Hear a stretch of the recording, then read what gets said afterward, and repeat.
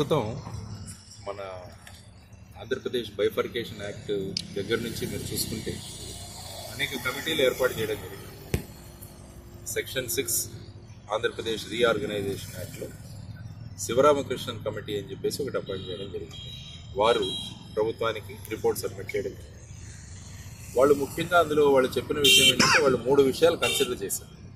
ఒకటి సరికొత్తగా ఒక రాజధానిని ఏర్పాటు చేయడం రెండవది ఉన్న ప్రాంతాలు ఏవైతే ఉన్నాయో వాటిని అభివృద్ధి చేయడం లేకుంటే పరిపాలన వికేంద్రీకరణ అంటే రకరకాల చోట్ల ఏర్పాటు చేయడం అనేవి మూడు సజెషన్లు ఇచ్చి గవర్నమెంట్కే దాన్ని వదిలేశారు.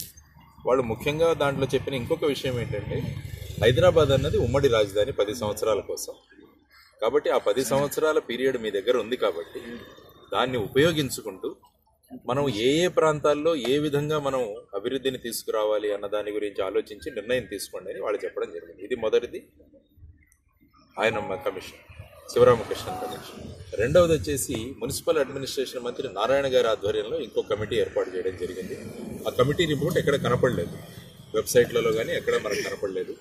ఆ నిర్ణయం తర్వాత అమరావతిలో ఈ రాజధాని కట్టాలని చెప్పేసి చేసి ముప్పై మూడు వేల ఎకరాలు రైతుల దగ్గర నుంచి పూలింగ్ సిస్టమ్ ద్వారా కలెక్ట్ చేయడం జరిగింది. ఆ తర్వాత వచ్చేసి ప్రభుత్వం మారిన తర్వాత జిఎన్ రావు గారి కమిటీ ఏర్పాటు చేయడం జరిగింది. వాళ్ళు రిపోర్ట్ సబ్మిట్ చేశారు. ఆ రిపోర్ట్ సబ్మిషన్ తర్వాత దాని నిర్ణయం రేపు క్యాబినెట్ జరగబోయే క్యాబినెట్ సమావేశంలో దాని గురించి నిర్ణయం తీసుకుంటారు. ఆ తర్వాత ఈ విషయంలో ఏదైనా మార్పులు చేర్పులు కావాలంటే అది అసెంబ్లీలో కూడా మాట్లాడాల్సిన అవసరం. కాబట్టి ఇది దీని వెనకాల ఉన్న క్యాపిటల్స్ పెడతారన్నది ఒకటి.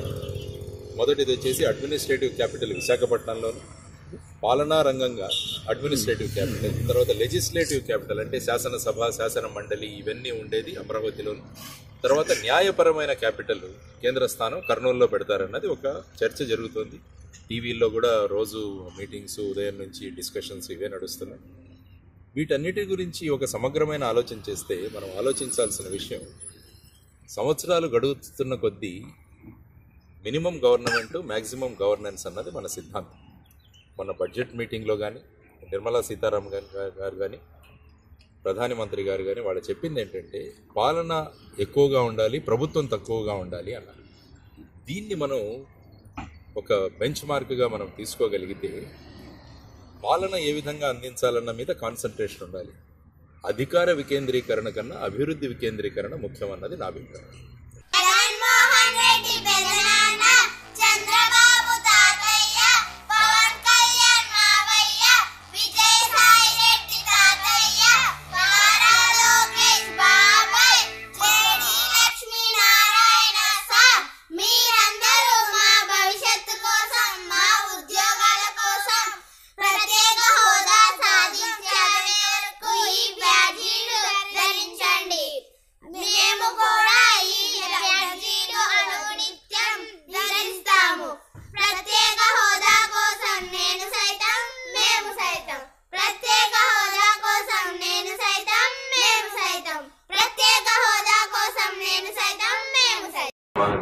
వాళ్ళని ఒక మూడు వందల మంది పెరాలిటిక్ స్ట్రోక్తో వచ్చి వాళ్ళు బాధపడుతున్నారు తర్వాత వాళ్ళు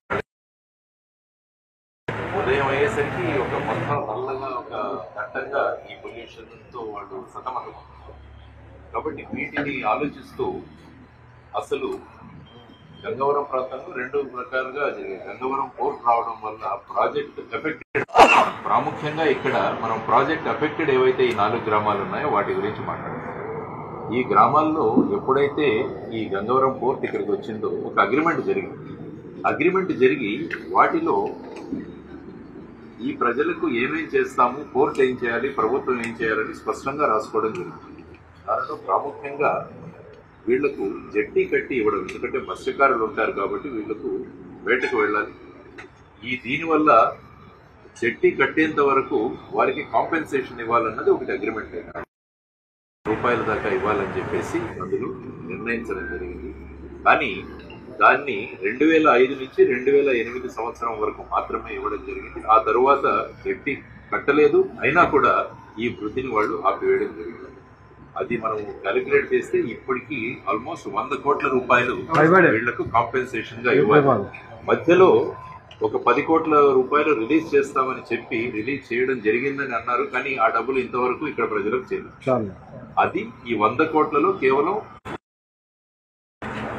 కాబట్టి ఇది ఒక ప్రాముఖ్యంగా వాళ్ళు చెప్పడం.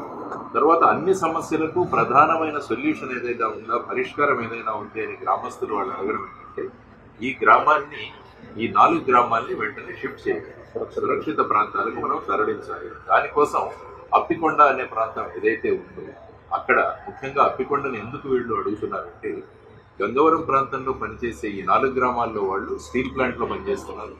గంగవరం పోర్ట్లో పనిచేస్తున్నారు. తర్వాత వచ్చేసి వేటకు వెళ్తున్నారు కాబట్టి ఈ ముగ్గురికి ఎక్కడికైనా ఒక సురక్షిత ప్రాంతానికి తరలించాలంటే అది అప్పికొండ ప్రాంతం సులభతరంగా ఉంటుందన్నది ఇక్కడ నాలుగు గ్రామాల వల్ల ముఖ్యమైన దీని గురించి నాకు తెలియజేయడం ఏంటంటే ఒక జీవో కూడా రిలీజ్ చేయడం జరిగింది. ఆ జీవో సందర్భంగా కూడా జట్టి కట్టడానికి ఒక నలభై కోట్ల రూపాయలు రిలీజ్ చేసినట్టుగా కూడా చెప్తున్నారు. అంటే కూడా పరిశీలించాల్సిన అవసరం కాబట్టి ప్రధానంగా వీళ్ళ ముఖ్యమైన సమస్య ఏంటంటే డిమాండ్ ఏంటంటే అప్పికొండ పరిసరాలకు తరలించాలి అన్నది ప్రధానమైన ఆ తర్వాత మీరు చూస్తే ఉద్యోగం.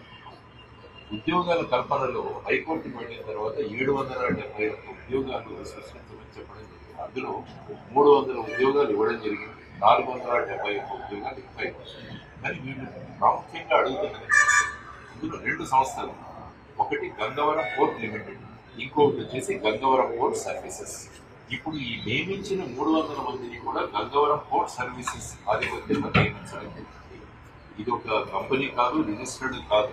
దానివల్ల ఏంటంటే ఈ మినిమం వేజ్ యాక్ట్ తర్వాత మిగతా కార్మికులకు కావాల్సిన ఎవరైతే సదుపాయాలు కల్పించాలో వాటన్నిటికీ మీరు మీరు ఇవ్వట్లేదు. అందువల్ల వీళ్ళ ప్రధానమైన డిమాండ్ ఏంటంటే మమ్మల్ని జీపీఎస్ ఈ గంగవరం పోర్ట్ సర్వీసెస్ కాకుండా మమ్మల్ని కోర్టు యొక్క శాశ్వత ఎంప్లాయీస్గా మమ్మల్ని గుర్తించాలి. అప్పుడే మాకు ఇటువంటి కార్మికులకు చెందే అన్ని చట్టాలు మాకు వర్తిస్తాయి అన్నది అది ఈ మూడు వందల మందిని కూడా ఆ విధంగా నియమించాలి. ఇంకా రాబోయే నాలుగు వందల డెబ్బై ఒకటి ఏదైతే హైకోర్టు వాళ్ళు నిర్ణయించి తీర్పు ఇచ్చిన తర్వాత కూడా నాలుగు వందల డెబ్బై ఒక్క ఉద్యోగాలు ఇంకా ఇవ్వలేదు. వాటిని ఇవ్వాలి.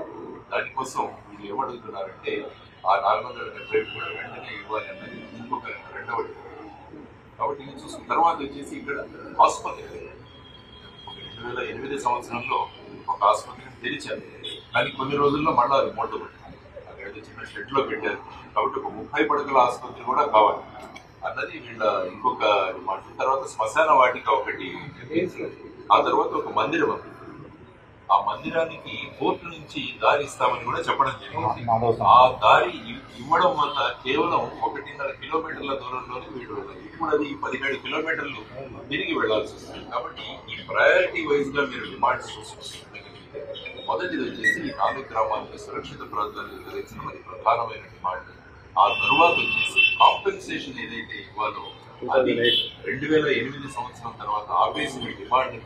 ఆ వృత్తిని వెంటనే అందరికీ ఇవ్వాలి అన్నది ఒక ప్రధానమైన తర్వాత ఉద్యోగాలు ఆ తర్వాత వచ్చేసి మిగతా ఈ క్రమవారీలో వాళ్ళ డిమాండ్స్ చేయడం జరిగింది. అందువల్ల బోర్డు మేనేజ్మెంట్ కూడా మాట్లాడడం జరిగింది. వాళ్ళ సమయం కేటాయిస్తారు అప్పుడు సమర్పించారు తర్వాత వచ్చేసి కోర్టులో కూడా ఈ ప్రక్రియ ఉంది. కోర్టు కూడా నిర్ణయం ఇచ్చింది. కాబట్టి కోర్టు నిర్ణయాలు కోర్టు ఆదేశాలు ఎంతవరకు పాలించారన్నది కూడా చూసి ఆ తర్వాత కంటెంప్ట్ ఆఫ్ కోర్ట్ అవుతుంది దాని కంటెంప్ట్ ఆఫ్ కోర్ట్ ప్రొసీడింగ్ కూడా తీసుకువెళ్ళడం చాలా అవసరం. తర్వాత వచ్చేసి ముఖ్యమంత్రి జగన్మోహన్ రెడ్డి గారు ఆయన ఎలక్షన్ క్యాంపెయినింగ్ ఇక్కడ వచ్చినప్పుడు కూడా ఈ ప్రాంతాలని సురక్షిత ప్రాంతాలకు తరలిస్తామని ఆయన కూడా హామీ ఇవ్వడం జరిగింది.